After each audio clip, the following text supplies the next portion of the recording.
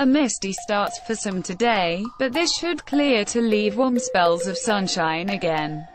BBC Breakfast meteorologist Matt Taylor explained, there's a lot more cloud to come around the northwest Scotland again with some outbreaks of rain, particularly through the Highlands, he added, across western parts of England and Wales do expect some mist and fog around to start the day.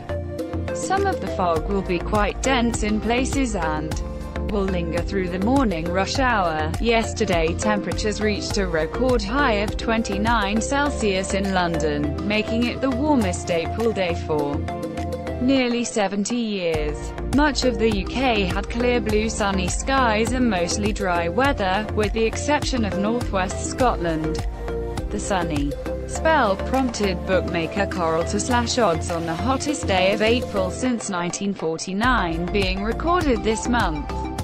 The company's Harry Aikenhead explained, the last few days have been absolutely glorious and with it forecast to continue through to the weekend it's now looking very likely that we'll see Record tumbling as the mercury rises. All those set to run in Sunday's London Marathon are odds on to claim a place in history as the hottest day for the race we've ever seen looks a near certainty. However, today there will be a few mist and fog patches moving through the Bristol Channel and western parts of Wales this morning.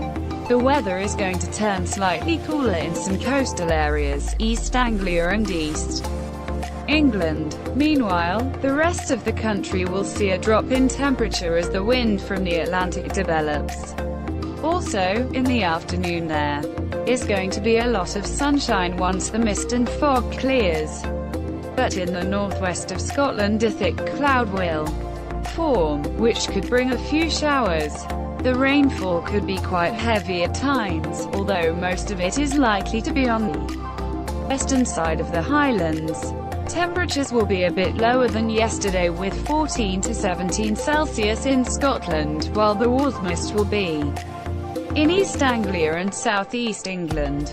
Lingering showers in Scotland will clear tonight, leaving behind some patchy mist in places.